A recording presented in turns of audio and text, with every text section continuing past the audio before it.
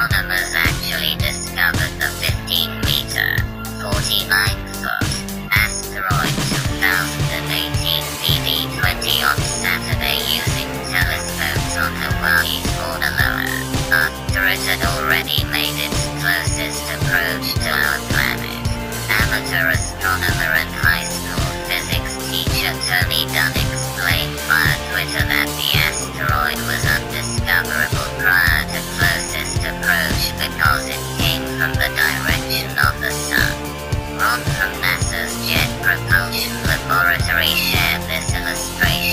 showing